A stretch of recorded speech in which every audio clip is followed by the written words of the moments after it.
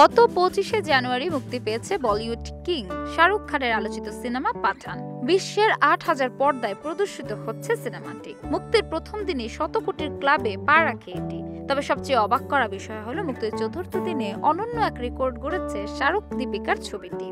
চতুর্থ দিনে পাঠানের আয়ের অঙ্কটা শুনলে চোখ কপালে উঠবে যে কারও।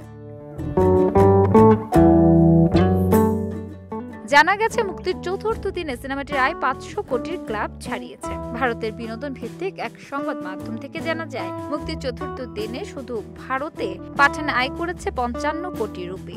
আর এ পর্যন্ত ভারত সিনেমাটির মোট আয় দুশো একুশ কোটি পঁচাত্তর লাখ রুপি। অন্যদিকে চতুর্থ দিনে গিয়ে বিশ্বব্যাপী সিনেমাটির মোট আয় দাঁড়িয়েছে চারশো পনেরো কোটি রুপি। বাংলাদেশি মুদ্রায় তা পাঁচশো উনচল্লিশ কোটি একানব্বই লাখ টাকারও বেশি।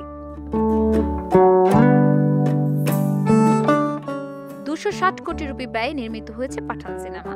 ভারতের সাড়ে পাঁচ হাজার পর্দা ও বিশ্বজুড়ে আড়াই হাজার পর্দায় দেখা যাচ্ছে ছবিটি। সিনেমাটি প্রযোজনা করেছেন আদিত্য চোপড়া। পাঠান সিনেমায় শাহরুখের সঙ্গে জুটি বেঁধে অভিনয় করেছেন দীপিকা পাড়ুকোন। এছাড়া ক্যামিও চরিত্রে অভিনয় করেছেন সলমান খান। মুক্তির আগে সিনেমাটি নিয়ে নানা বিতর্ক থাকলেও এর কোনো প্রভাব দেখা যায়নি বক্স অফিসে। ফলে পাঠান যে ভারতীয় সিনেমা ইতিহাসে নতুন রেকর্ড গড়তে যাচ্ছে, তাই তো মধ্যেই জানিয়েছেন সিনেমা বিশ্লেষকরা।